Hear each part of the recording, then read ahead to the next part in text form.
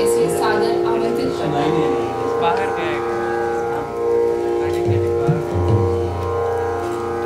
ऐसा कहते हैं कि मल को दूर करने वाला मल्हार कहलाता है। तो लीजिए प्रस्तुत है राग गौड़ मल्हार में मध्य लय तीन ताल में विबद्ध रचना रिखु आई बदरिया सावन के।